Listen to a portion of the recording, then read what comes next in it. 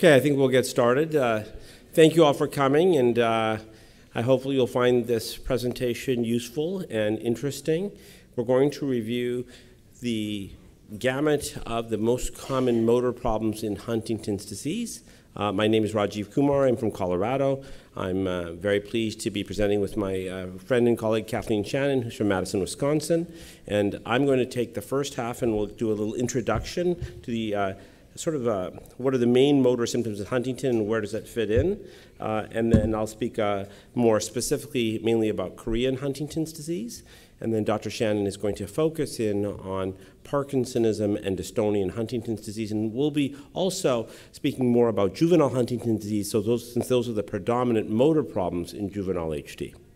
So uh, all of you are aware of all the uh, disclosures we have. And if you've been to any of the other sessions, you'll know that uh, HDSA would like all of you to give some feedback on the sessions. So please uh, take out your camera for a quick sec, take a picture of this uh, or scan this QR code. So at the end of the presentation, you could provide some feedback and tell them how much uh, we did terribly and how it should be improved for next year. Okay? So here we go.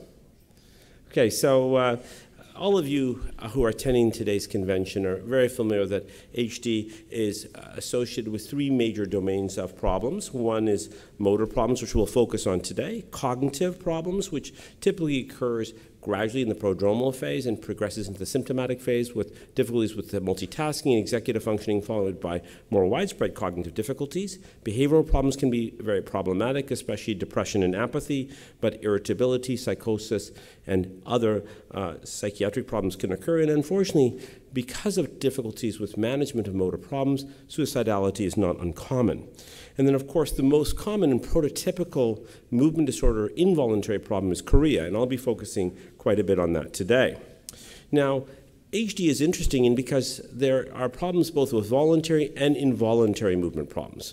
Amongst the involuntary movement problems beyond chorea, as I mentioned, is dystonia, which refers to twisting and turning movements, often with sustained abnormal postures, rigidity, or stiffness, something the examiner might feel on examination. It's hard to passively move a limb, for example. Spasticity, which is another form of increased tone. And myoclonus, which are quick jerk like movements that are more common in younger patients with HD, especially those who might have epilepsy too. Now, amongst the disorders of voluntary movement are Parkinsonism. And when I say Parkinsonism, I don't mean Parkinson's disease. I mean elements of the findings in Parkinson's disease, such as slowness of movement, which is bradykinesia, and rigidity. Tremor is relatively uncommon but can occur in Huntington disease. Decreased coordination or ataxia is well recognized, and that contributes to some of the gait problems patients with Huntington's have. Poor balance also, of course, and falls can be a major problem as the disease progresses. Speech and swallowing problems, as you know, can be very troublesome and can contribute, of course, to communication difficulties and weight loss. Motor impersistence is an interesting phenomenon whereby patients have difficulty sustaining inaction. So a classic uh, example of that is if you go to shake uh, the hand of someone with Huntington's, you ask them, okay, just keep squeezing my hand. It may have various lapses in ability to sustain the same sort of uh, pressure, and we call that a funny name from ancient times called milkmaid's grip. And eye movement abnormalities, initially difficulties uh, initiating movements, and then as the disease progresses, the movements become slower, and the person with HD may have difficulties obtaining the extreme of range of motion up or down or right or left. Now, many of you have probably, since you've been here for the last couple of days, have become familiar with the newer ISS staging system of Huntington disease. And you can see here, let me see if I can get this pointer to work. Aha!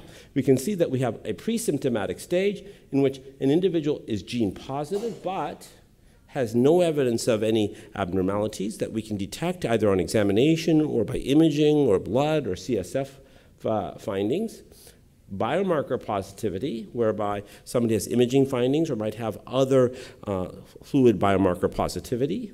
Stage two, whereby the patient is still independent in day to day activities, might have some cognitive or behavioral problems, but is still independent, but has some findings, often motor symptoms of Huntington. And then stage three is when this patient who is still functioning well begins to lose uh, uh, independence and becomes increasingly dependent on help in day-to-day activities. So this is the newer staging system in HD.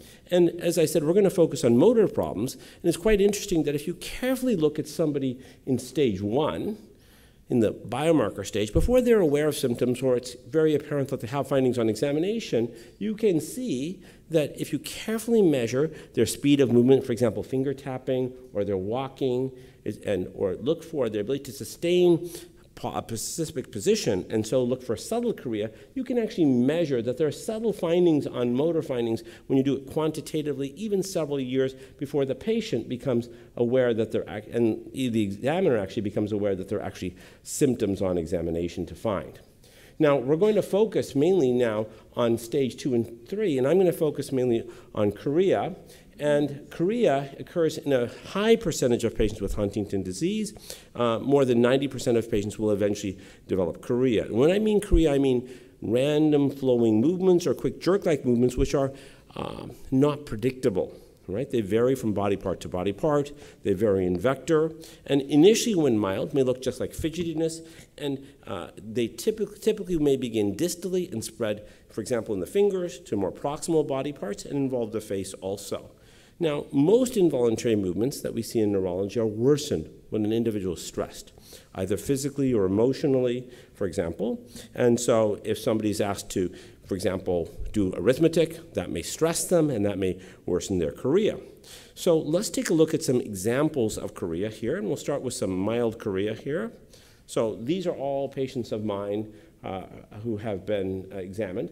This is a patient you can see he's doing finger tapping, and you see he has emergence of facial involuntary chorea. And I've got him sitting up here and doing some arithmetic, and you can see that he's developing twitchy movements in his feet or lower extremity chorea while counting backwards. This patient has not only these lower extremity movements, but also you can see she's got truncal shifting movements. So this is milder chorea involving different body parts.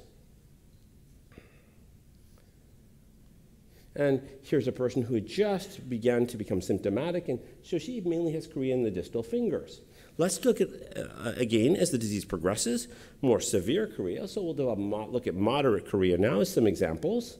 And you can see this fellow has reduced facial expressivity, and just like the other person had facial chorea, but now he's got tongue chorea. We're getting more substantial truncal chorea and shoulder chorea, and even some facial abnormal movements. And this patient, you can see, has more substantial upper extremity and truncal abnormal movements, and she even has some abnormal posturing or dystonia intermixed with her chorea. And this fellow, you can see, has more substantial distal chorea than we saw earlier. We saw this patient earlier. I upset her a little more, and so the lower extremity chorea becomes more marked than we saw when we examined her earlier in the day. And this person, you can see, his chorea comes out when he's doing other movements. So he's doing pronation, supination tasks with the hands. And then lastly, let's see more severe chorea as the disease progresses yet further. And we can see this patient has predominantly facial chorea and truncal chorea. This person also has, and we saw him before, but now I've exaggerated by having him do finger tapping, and he's developing more facial chorea and tongue protrusion. And this person we saw before, again, I've given, I've now stressed her and she's listening to me and she's developing these truncal arching movements, right? So it's a combination of the posturing plus abnormal movements. And this person develops large amplitude flinging movements of his limbs. And he can't even speak actually because of facial chorea unless he holds his chin. Uh, because the facial chorea may interfere. And even just talking to me, you can see his legs are really bouncing. So these are some examples of chorea affecting different body parts and of different, different severities. You get an idea when I say flowing or, or uh, movements, etc., what I'm talking about.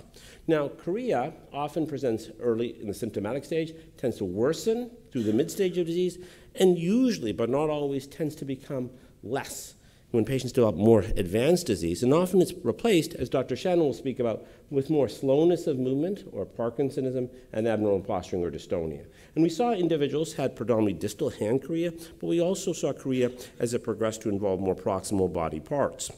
Now, chorea by itself is just a phenomenon, but the question is, how is it affecting the individual, their care, and, and the like? So it's important to ask not all chorea needs to be treated. Not all chorea is troublesome or disabling. But it's important to ask is it interfering with typing, feeding oneself, participating in, in activities that are it's important to them? Is it throwing them off balance? Is it causing falls? Is it interfering with work performance? Is it affecting driving? All of these things are important things to consider when deciding whether or not to treat and how to treat an individual.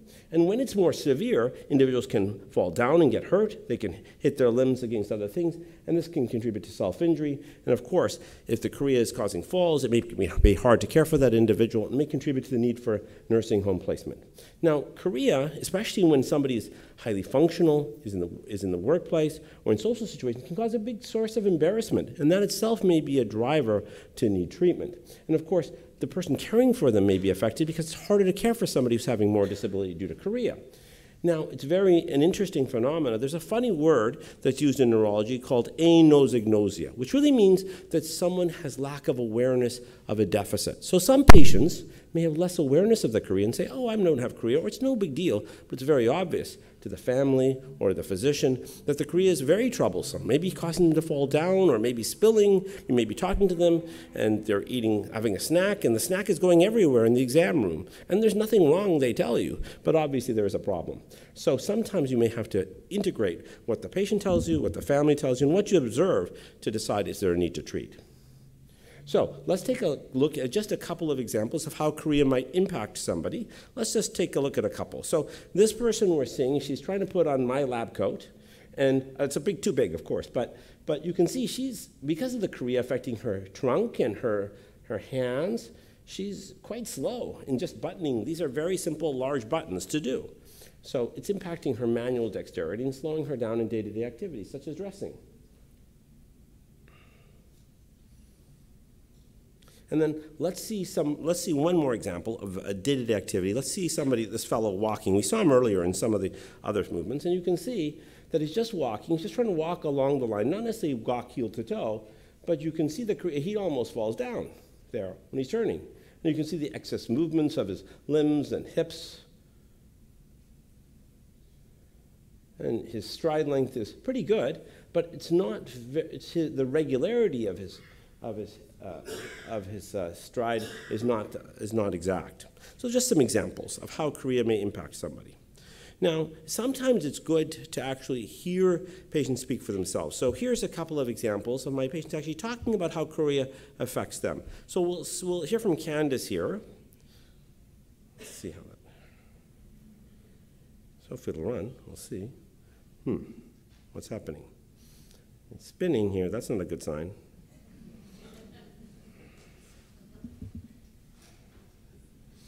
Okay, well, you might have to escape and try it again. Oh. All right, just a moment here. Okay, of course, I've got the, uh, we're going to close that program and we'll try restarting the presentation in just a moment, excuse me.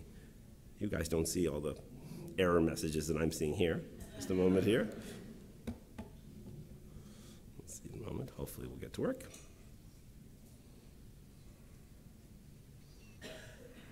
Hmm.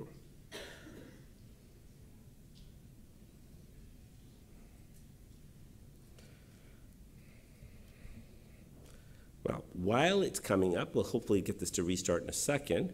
I will start talking a little bit about treatment of chorea, and hopefully I'll be able to get this to work in the meantime. And it looks like we're getting there. Well, we'll try one more time here. Okay, let's see if we can get this to work here. Try one more time here. Okay, go back one. Let's try. Let's try this one. We'll try. Can you cut your own food, or do you need help with cutting the food? I need help cutting my food. Once it's cut, can you feed yourself? Yeah. Will you spill because of the chorea? Yeah. Does the chorea affect your speech? Yeah. Tell us about that a little more. Uh, that's a part of it. so you make some funny sounds. Is that right? Yeah. And do I call it my singing. So that's Amanda. She used to work full time as uh, an accountant and a bookkeeper in a hotel. Uh, she has five children. She's an incredible mom. Uh, and even now, even though she has very advanced disease, uh, her chorea is, you'll see in a moment, is very severe. At times, initially, it responded extremely well to medicine. She was unable to drive, but actually could go back to driving as a result of good treatment of her chorea for a while. But then you can see now that her Does it affect really your walking and balance? Yes. Tell us about that a little bit.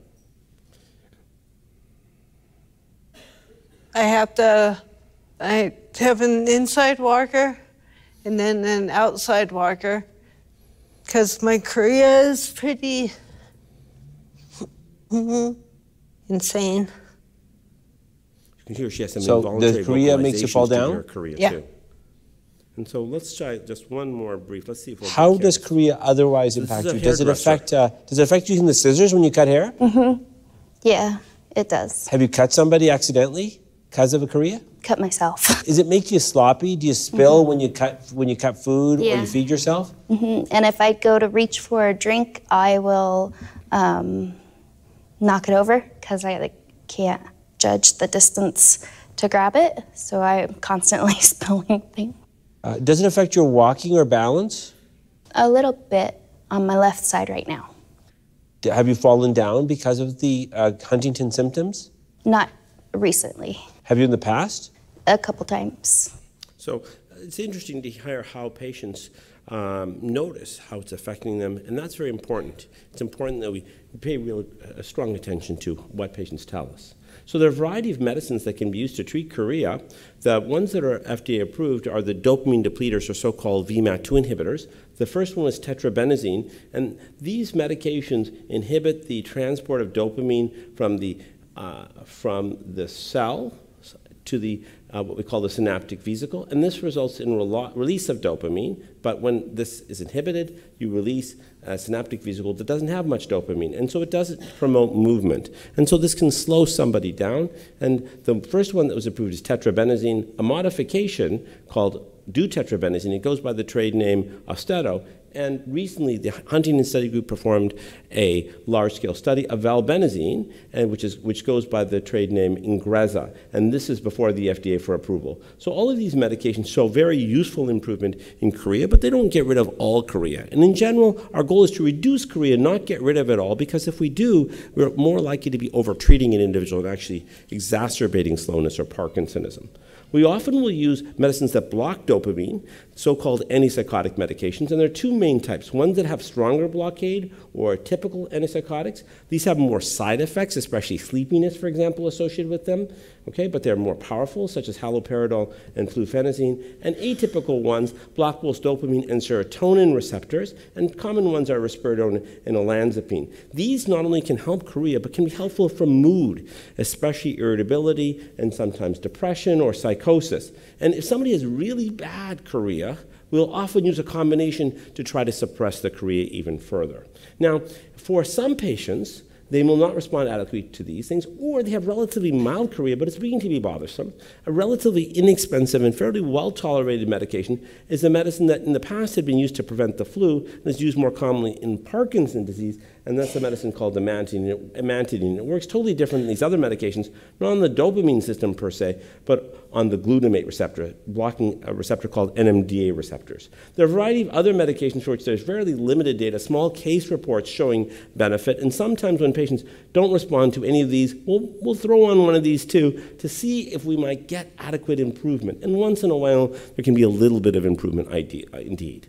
Now, for patients who have severe refractory chorea that's not responding adequately to these treatments, we will consider a surgical procedure where we implant electrodes in the brain, hook up the electrodes to a pacemaker like device to block abnormal signals to reduce chorea. So, for severe disabling refractory chorea, uh, DBS can be helpful. One of the problems is that there is some data to suggest it may worsen cognition. There, the data on that is pretty variable. One has to be sure that one doesn't cause excessive slowness, however, also, or worsen gait or other, uh, other motor problems when doing deep brain stimulation. And obviously, deep brain stimulation is not without risks because you're operating on the brain.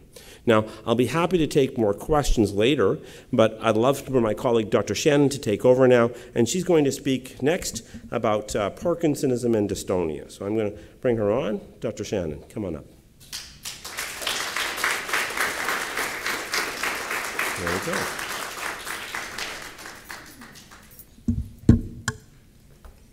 Hi. Can I be hear, heard all the way back there? No? Okay. So, uh, yes, I'm going to talk about uh, some other movements that we see very commonly in Huntington's disease. And when a person kind of learns about Huntington's and first starting pa- seeing patients, one of the most remarkable things is that we would think if you have a disease that's progressively getting worse, that all the same things that you had in the beginning would progressively get worse, and that's how the disease would progress. But when you start to see patients with Huntington's disease, you realize that there's a definite change in the appearance of patients over time. And it's very baffling to our medical students and to our residents sometimes. So that's really what I'm going to talk about. And the two movement disorders I'm going to talk about are dystonia and Parkinsonism. Um, so uh, dystonia is dystonia is a hyperkinetic movement disorder. It's an involuntary movement disorder, as Dr. Uh, Kumar mentioned. Uh, and it's different than chorea. So chorea is kind of fast and kind of random and kind of flowing. Dystonia is a slower movement disorder. It's a more twisting movement disorder, and it's more patterned. So it has a kind of a repetitiveness to it that chorea doesn't. Um, and so often there's this kind of twisting movement um, directional. The move, the limb goes or the body part goes in the same direction all the time. And Parkinsonism, is what's called an akinetic movement disorder, so loss of movement. So that means they're stiff and they're rigid and they're slow and they're walking as slow and they take small steps. Um, and uh, Dr. Kumar mentioned this. Tremor is a prominent part of Parkinson's disease, but it's rarely, I've only seen one case of a resting tremor in a, in a Huntington's patient, so kind of a typical Parkinson's tremor.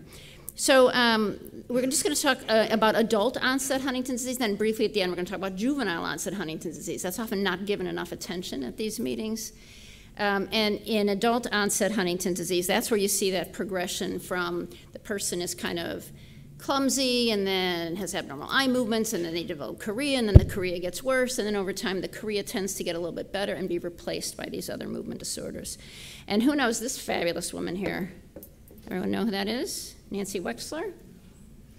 So th this is data. I'm just going to show you one data slide. So um, there was a remarkable family or collection of families in Lake Maracaibo, Venezuela, so a very poor fishing area, uh, where that was the, the occupation of the residents. And uh, there were hundreds of patients with Huntington's disease.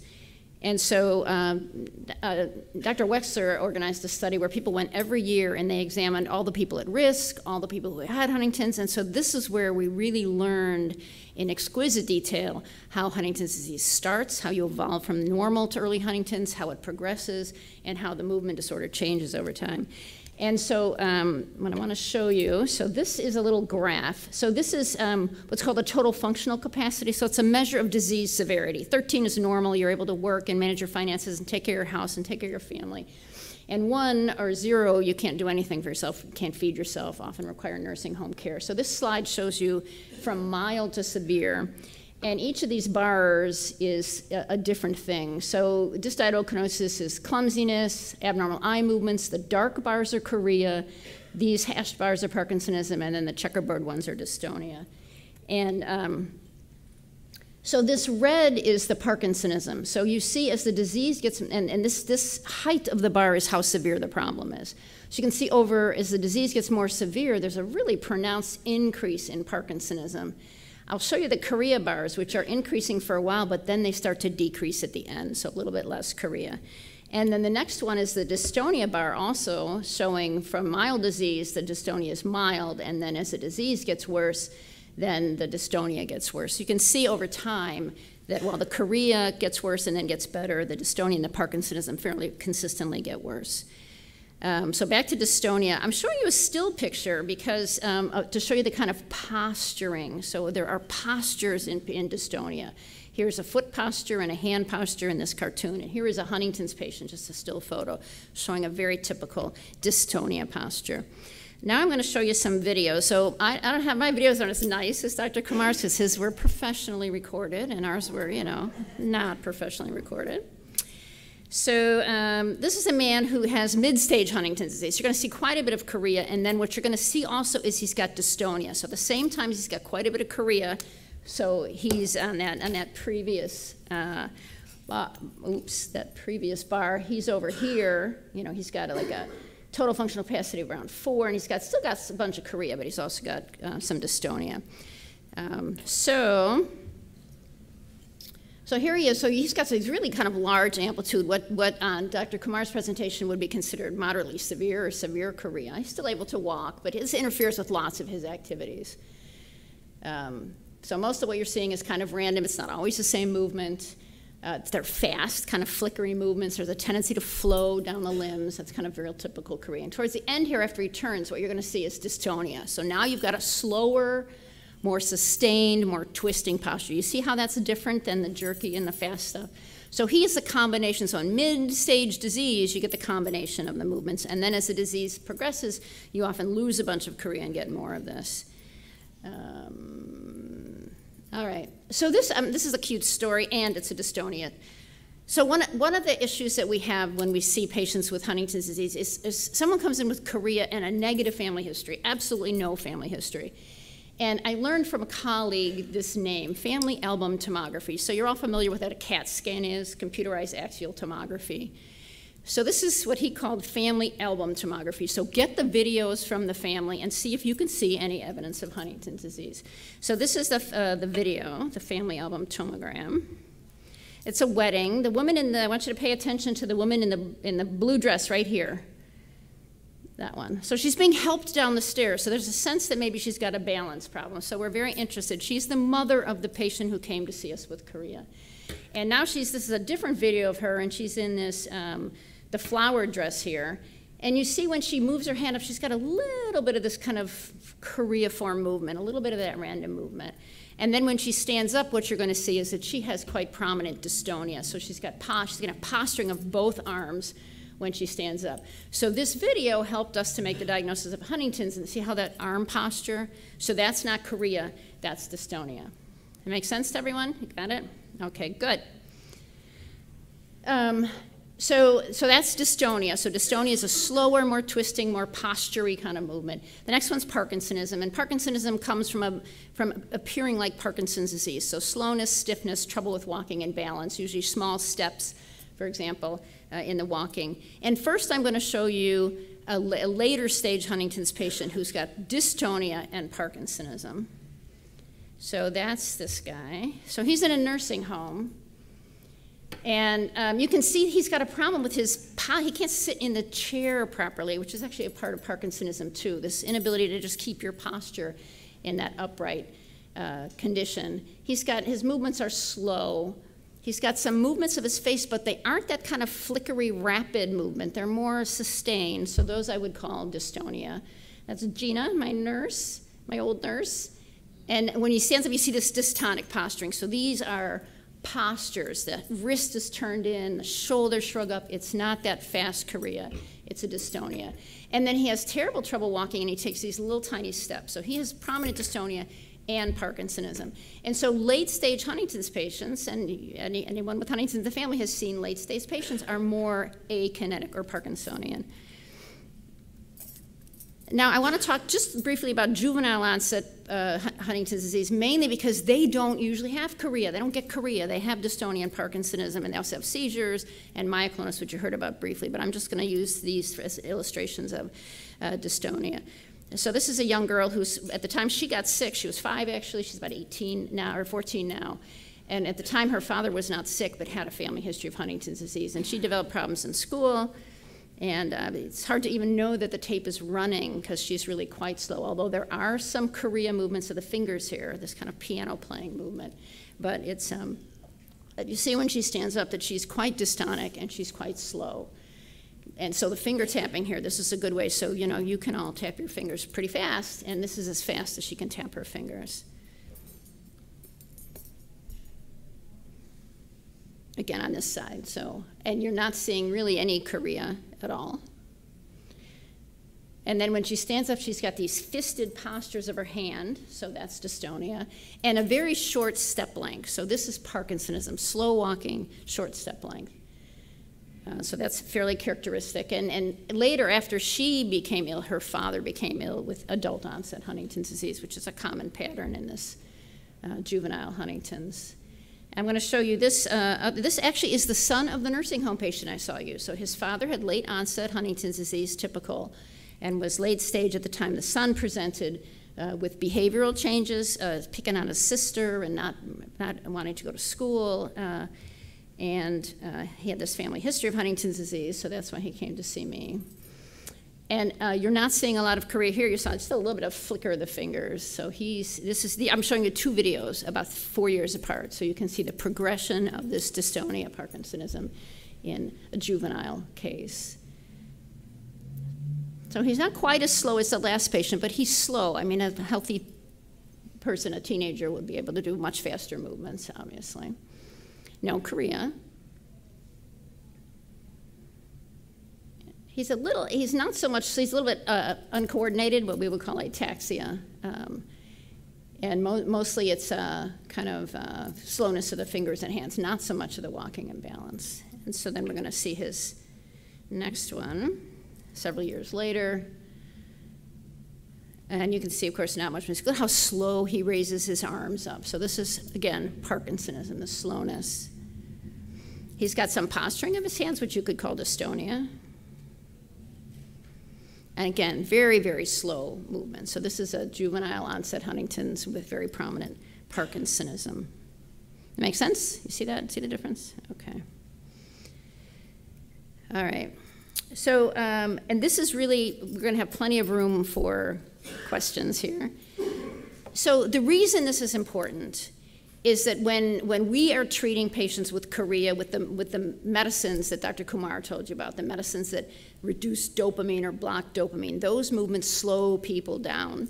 And so that's why it helps the chorea. But if you're already slow and you already have this dystonia, they aren't particularly helpful and make, can make things worse. And so it's important for people to recognize that Huntington's is a complex motor disorder. It's not the same motor disorder that just gets worse, the same but worse over time, but it changes in a way that can really cause problems if you don't reevaluate the medicines. So over time, uh, dystonia and Parkinson's evolve and may completely take over the motor picture. And so it's important to, for, for us to do surveillance and to pull back on these medicines, these anti-chorea medicines, when um, people develop uh, Parkinsonism in particular, uh, especially the antipsychotics and the, and the VMAT2 inhibitors, the tetrabenazine, deutetrabenazine, valbenazine. Uh, there are approaches to treating dystonia and Parkinsonism. I have tried using Parkinson's medicines, doesn't particularly work well. Occasionally someone will get better. Um, uh, but mainly I've tried it in the juvenile cases rather than the adult cases. Uh, I did a study with it once, and in the adult cases, it actually made chorea a little bit worse, so um, we didn't really use that. Um, we have had people who had very pronounced dystonia uh, who we did deep brain stimulation surgery on. Uh, we have pub published case of deep brain stimulation surgery on a, a man who had terrible torso dystonia. Uh, that was helpful. So it's, it's a lot of problem solving at that point. So looking at the patient, seeing what the the, what the sources of disability are and then trying to fix them. Um, all right, so now we have time for questions. I'm going to invite Dr. Kumar back up here, and then we have uh, 15 minutes. Yeah, we were asked to leave 15 minutes for questions, so yes.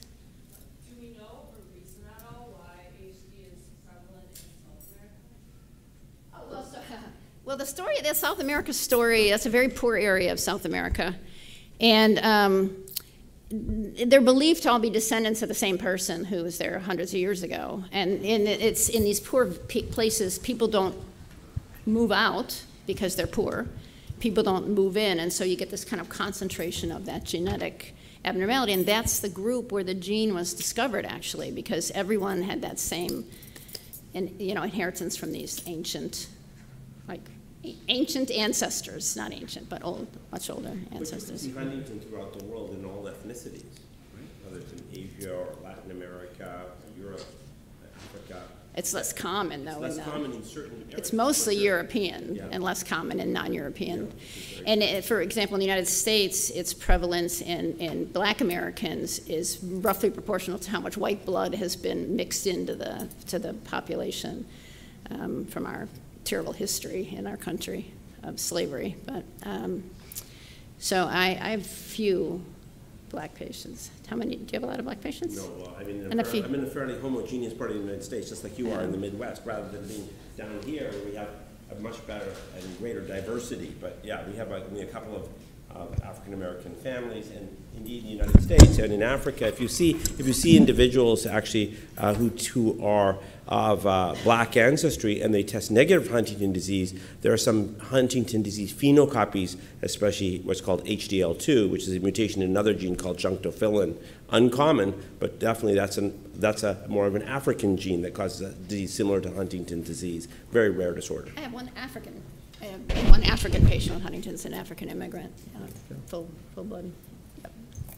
Is the movement, are all types of movement you discussed sort of guaranteed in every patient? What kind of variability do you see? And is it, is it, is it the onset of these movements, like what variability do you see in like beginning, middle, late stage? Like, is there commonality?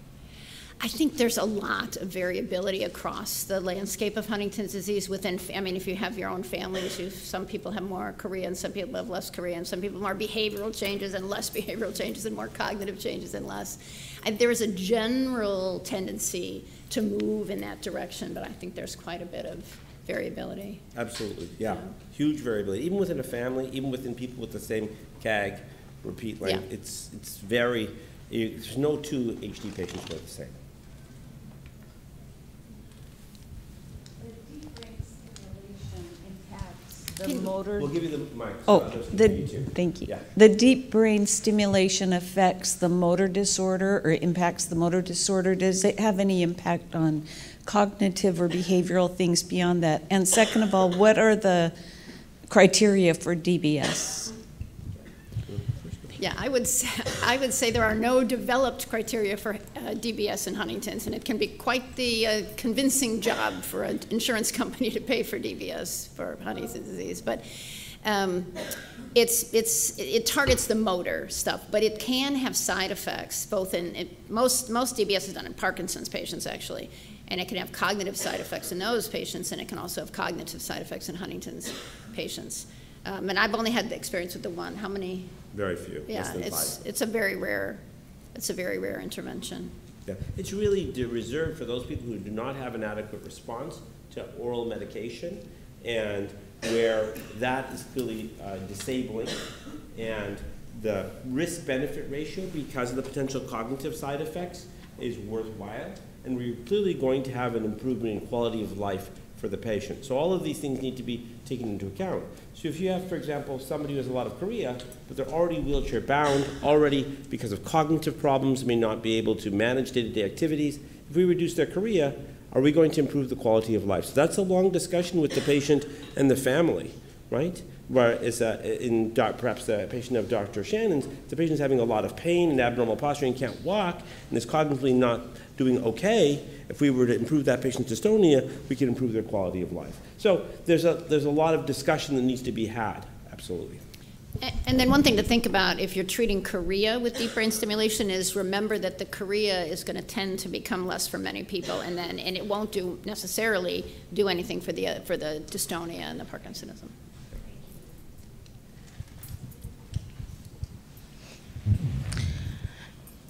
You mentioned the Parkinsonism, and the examples you showed all seem to be more juvenile. Is it possible to have that as like the first movement disorder without any chorea or anything else? I've seen it in some people who are young-ish. So I have a couple of people in their mid to late. So juvenile Huntington's is uh, under the age of 21, basically, um, and uh, by defin, just a definition. But I've seen people who were in their 20s, mid 20s, even inching up to the late 20s, who had Parkinsonism as dystonia as their prominent movement disorder. But that's not very common, honestly. I can't tell you how uncommon. Ninety percent of people will get dystonia eventually, but it's not. It's not a very common. And I, I've, I've only seen it in people who were in that in their twenties or juvenile. Have you seen it? Yeah, I think that's people? true. Yeah, I think you see somebody who's in, in the mid-twenties, who CAG is in the mid-fifties. Yeah. That's the kind of patient. And that, pa- that same patient could have presented a few years earlier, uh, you know, and would have been considered juvenile. And, uh, so. Looks like there's a question here in the front. Yeah, she was. Uh, kind of similar question. I was wondering if the transition from chorea to dystonia tends to be kind of proportional. Like, if you have severe chorea, are you going to have more severe dystonia, or not necessarily? I would say no. I, I- I, The more severe choreic patients tend to maintain more chorea in my experience. Uh, It's the more patients who are maybe modest chorea that become more and more dystonic later on. But Dr. Shannon, what do you think? I don't think I, would hesitate to make any kind Yeah, of it's generalizations about that, yeah. It's a more, it's anecdote, I don't think it's been well studied. Thank you very much for your excellent talks. So you mentioned that chorea basically stabilizes or goes down along the timeline. So if we look at the other two main symptoms, like uh, uh, behavior symptoms and cognitive symptoms over the timeline, are there other symptoms which basically stabilizes or goes down, or is it only chorea basically which stabilizes over the timeline, time course of the disease? So, um, so th- there are, there are a bunch of publications tracking um, changes in our rating scales over time, um, including, so for the behavior stuff, behavior is very variable, probably because it's treatable. So you can, you can measure on the Unified Huntington Disease Rating Scale, or the total functional capacity score, that 13-point score, and there's like one, on average, one point decline a year, on average. But that's average, so people, there are people who progress at different rates, and they may have more prominent behavioral stuff that progresses faster than their motor stuff. I think all bets are kind of off, but the, the psychiatric stuff. So suicidality is interesting because suicidality has certain times when it's higher. So when people are starting to get symptoms but they're not diagnosed, when people are starting to lose their ability to work and they're going to go on and need to go on some kind of you know supplemental uh, system, a lot of times they'll get suicidality, and then as they get more advanced, the suicidality tends to go. So there's there's certain things that have patterns like that, and other things are just random. I think the challenge here is that when we say behavioral, as Dr. Shannon is alluding to, there are many things that are behavioral. It's like saying there are motor problems. We just described several different motor problems. So there's suicidality, as Dr. Shannon says, peaks when people are first phenoconvert or when people lose their, lose, lose their employment. There's depression, which can be very variable. There's irritability, which can be pretty prominent early in the mid stage, but when patients become very advanced, it becomes less common, probably for the fact that you know it's very hard to strike out and hit somebody when you can't move, for example. You know that can be a big problem. Uh, and so, and apathy tends to be a fairly common problem and tends to progress and becomes worse and worse. So all of these are different sorts of problems amongst in the entire rubric of of behavioral. So I don't. So different. I think there are different problems which peak at different times. Just as you know, Parkinson gets worse, dystonia gets worse, chorea does this. Um, similarly, there are different patterns for different behavioral symptoms in general. But again, a lot of variability from patient to patient. Thank you.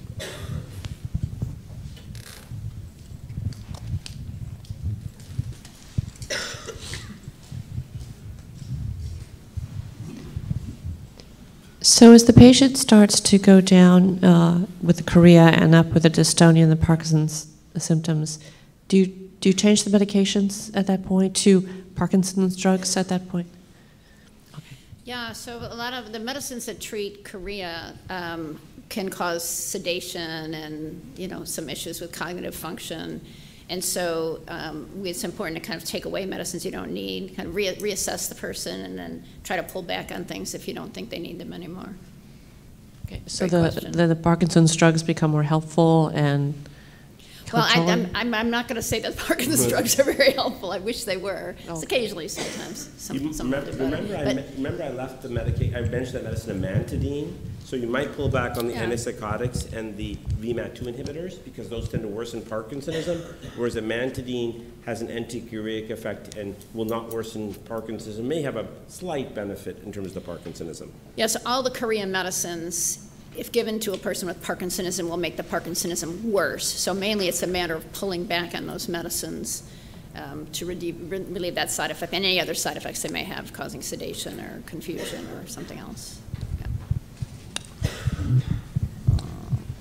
I wanted to just, uh, just have you reiterate one thing. I was a little confused about the visual signs of the Parkinsonism, a visual, the visual that you can see on a patient. So the, this, the vi- videos you thought, Well, the Parkinsonism phase, what visually, is it the, is it the twitching of the so hand? um, people with Parkinsonism We test, in, in part of our Unified Huntington's Disease rating scale thing, when we rate patients, it's, we have them do rep- repetitive tasks, so finger tapping, for example.